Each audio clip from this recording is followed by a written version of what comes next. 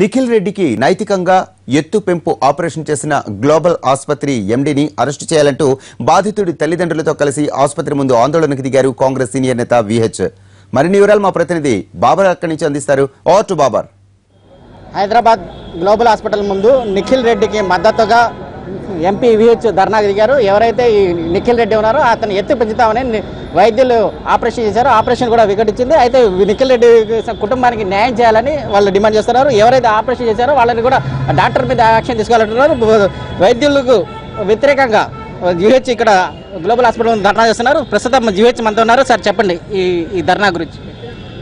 చూడండి ధర్నా గురించి నాకేం షోకు లేదు. కింద కూర్చొని మీ టీవీల దగ్గర మాట్లాడని ఒక అన్యాయం జరిగింది.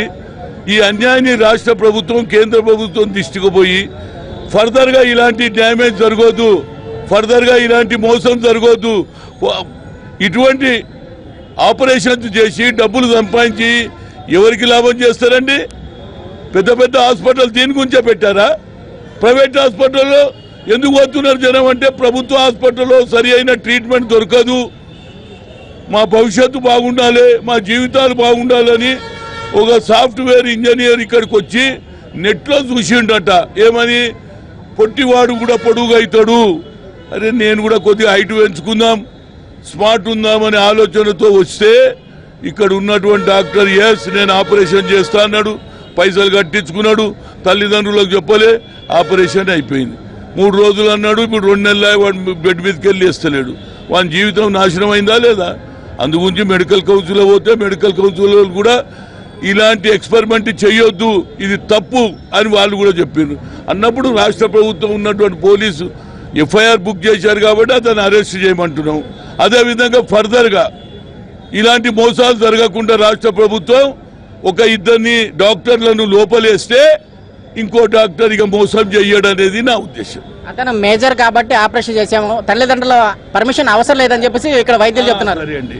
తల్లిదండ్రులది అవసరం లేదు. ఆపరేషన్ సరిగా చేయాలి కదండి.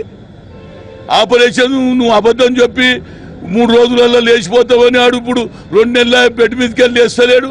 ఇది దోకనా కాదా? ఇది అబద్ధమా కాదా? ఇది మోసమా కాదా? కనుక ఈ మోసం చేసిన అరెస్ట్ చేయమని కోరుతున్నాం. మెడికల్ కౌన్సిల్కి ఏమైనా ఫిర్యాదు చేశారా? ఏంటి? మెడికల్ కౌన్సిల్ మా మీడియా వాళ్ళు ఎన్నిసార్లు చెప్పినా మెడికల్ కౌన్సిల్ రిపోర్టరా బాబు? ఇది మెడికల్ కౌన్సిల్ ఇగో చూడు. చూసినావా మెడికల్ కౌన్సిల్. చూసినావా ఇది? స్టేట్ మెడికల్ ఇగో చూడు ఏం రాసిండు? వీళ్ళ ఎక్స్పీరియన్స్ వీళ్ళ ఏది? ఎక్స్పెరిమెంట్కు ఆపరేషన్ చేయడం తప్పు అని చెప్పిండు. ఇంక ఇంతకంటే ఏం చెప్పాలండి? కనుక తప్పనిసరిగా ఈయనను అరెస్ట్ చేస్తే ఫర్దర్గా కార్పొరేట్ హాస్పిటల్ ఉన్న డాక్టర్ కూడా ఒళ్ళు దగ్గర పెట్టుకొని న్యాయం ఉంటేనే అడ్మిట్ చేసుకుంటాం. లేదమ్మా నాతోటి కాదు. నేను ఆపరేషన్ చేయను లేకుంటే ఎవరిని వచ్చినా అడ్మిట్. రేపే అయిపోతుంది. నీకు జాయిన్ చేసుకునేటప్పుడు ఒక లక్ష కట్టమంటారు. ఇక వాడు ఒక్కసారి బెడ్ మీదకి పోయిన తర్వాత వాడు ఇల్లు అమ్ముకోవాలి సొమ్ములు అమ్ముకోవాలి. తే తే తే ఇక ఎవరితో ఒకసారి తల్లిదండ్రులకు ఏముంటుంది అరే నా కొడుకు బతుకుతాడేమని ఓ ఐదు తులాల బంగారం అమ్మేసి తెచ్చి పెడతారు. వాడు చచ్చిపోయినాక కూడా పైసలు తీసుకుంటారండి వీళ్ళు. ఇప్పటి వరకు అతను ఎంత ఖర్చు చేశాడు పోలీసులు ఏం చెప్తున్నారు దీని గురించి? మూడు లక్షలు తీసుకున్నాడు ఈ డెబ్బై ఐదు లక్షలు అడుగుతున్నారు. పోలీసు వాళ్ళకు ఆల్రెడీ రిపోర్ట్ చేసినాం. వాళ్ళు అరెస్ట్ విషయంలో జాప్యం ఏంటి? కారణం ఏంటి? జాప్యం ఏమనేది ఈడున్నారు చూడు సిఐని అడుగు. నేను పోలీస్ డిపార్ట్మెంట్ కాదు. ఆయన అడుగు చెప్తాడు ఆయన అడుగు. అయితే నిఖిల్ రెడ్డికి సంబంధించిన వాళ్ళ ఫాదర్ కూడా మనతో ఉన్నారు. సార్ చెప్పండి ఇప్పటి ప్రస్తుతం నిఖిల్ రెడ్డి వైద్యం పరిస్థితి ఎలా ఉంది? అతనికి ఏమన్నా మంచం మించి లేవడానికి ఏమైనా అవకాశం ఉందా లేదా? వైద్య పరిస్థితి అత్యంత దారుణంగా ఉంది. కేవలము ఎట్లయితే తప్పుతుందనే ఉద్దేశంతో వచ్చి అతను అందించే ఆ వైద్యం ఏందండి?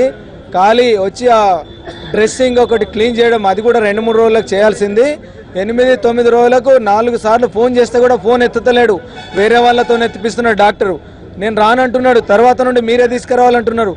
చాలా దారుణంగా ఉందండి. ఆయన చెప్పిన మాటలకు ఇప్పటికీ చాలా తేడా ఉంది. ట్రీట్మెంట్ సరిగా లేదు. లోపలంతా దురదలేసిపోతుంటే ఎనిమిది రోజులు తొమ్మిది రోజులకు కూడా చేయడానికి డ్రెస్సింగ్ చేయడానికి రావట్లేదండి. ఫోన్ ఏం చేస్తే వేరే వాళ్ళతో ఎత్తిపిస్తున్నాడు అసలు ఎత్- ఎత్తు పెరు పెంచుతామని చెప్పేసి వైద్యులు చెప్పారు కదా ఏమన్నా ఎత్తు పెరగడం జరిగిందా లేదా? ఎత్తు పెరగడం కాదండి. ఆయన చేసింది ఏందండి? బొక్కను కట్ చేసి దాన్ని స్క్రూతో తిప్పితే రెండు బొక్కల మధ్య గ్యాప్ పెరిగింది. ఆ గ్యాప్ పెరగడమే కానీ బోన్ పెరగలేదు. ఇప్పుడు ఏం చెప్తున్నాడు ఎక్స్రేస్ చూపించి? One and half one point one నుంచి పెంచానంటున్నాడు ఏ డాక్టర్నైనా ముందుకొచ్చి చూపించమనండి. ఏమైనా ఎత్తు పెరిగిందా? లేకపోతే గ్యాప్ పెరిగిందా? మనం తిప్పినా కొద్ది గ్యాప్ బోన్ దూరం అవుతుందండి ఆ ఎత్తు పెరిగింది కాదు. బోన్లో మాత్రము గోధుమ గిందంతా గ్రోత్ మాత్రమే ఉందండి. మిగతా వన్ ఇంచ్ గ్యాప్ అట్లాగే ఉంది. విపరీతమైన పెయిన్స్తోనే అల్లాడుతున్నాడు. కాలు కింద పెట్టలేని పరిస్థితి. రెండు రోజుల్లో నడిపించి చూపిస్తానే ప్రగల్భాలు పలికిన డాక్టరు. ఈ రోజు రెండు నెలలైతుంది. కనీసం మంచం పైనుండి కింద కాలు పెట్టలేడండి. ఇంత దారుణంగా ఉంది. వాని దయనీయంగా ఉంది. వాని జాబ్ పోయింది. మా బిజినెస్ పోయింది. మొత్తము మా ఫ్యామిలీ అంతా డిస్టర్బ్ అయింది. దాని గురించి మేము కోర్టుకు వెళ్తాము కన్జ్యూమర్ ఫోరంలోకి వెళ్తాము. అన్ని విధాల ఇలాంటి నాయకులను పట్టుకొని ప్రతి విధాల శత విధాల మేము పోరాడి న్యాయం జరిగే వరకు ఈ డాక్టర్ని అరెస్ట్ చేసే వరకు మేము ఇక్కడికి వెళ్ళి కదిలేదే లేదండి. ప్రధానమైన డిమాండ్ ఏంటి? మీరు ఎప్పుడు ఎంత నష్టపరిహారం నడిపించి చూపిస్తా అని చెప్పిన డాక్టర్ రెండు నెలలు అవుతుంది. ఇప్పటి వరకు కాలు కింద పెట్టే పరిస్థితి లేదు డాక్టర్. మీ ప్రధానమైన డిమాండ్ ఏంటి? ఆ నష్టపరిహారంగా ఏమైనా కోరుతున్నారా? హాస్పిటల్ నుంచి గ్లోబల్ నుంచి? అరెస్ట్ చేయని నష్టపరిహారం గురించి తర్వాత చెప్తాం ప్రధానమైన డిమాండ్ అంటే ఎత్తు పెంచుతామని చెప్పేసి ఆసుపత్రి వైద్యులు ఆపరేషన్ చేశారు. ఆపరేషన్ కూడా సక్సెస్ఫుల్ కాలేదు. కేవలం రెండు మూడు రోజుల్లో అతను నడవగలుగుతాడని చెప్పారు. అయితే ఇప్పటికీ రెండు నెలలు అయినా ఆయన బెడ్ మీద నుంచి దిగలేని పరిస్థితి ఉంది. ఎవరైతే డాక్టర్లు అతని వైద్యుల నిర్లక్ష్యంగా కారణమవుతుందో ఆ వైద్యులు తక్షణం అరెస్ట్ చేయాలని అప్పటి వరకు గ్లోబల్ ఆసుపత్రి నుంచి ధర్నాకు ధర్నా నుంచి వి- విరమించేది లేదని చెప్పేసి ఇక్కడ VS తో పాటు రోగి పేషెంట్ తల్లిదండ్రులు చెప్తున్నారు. కెమెరామెన్ గణపతితో కలిసి బాబార్ ఎన్టీవీ హైదరాబాద్.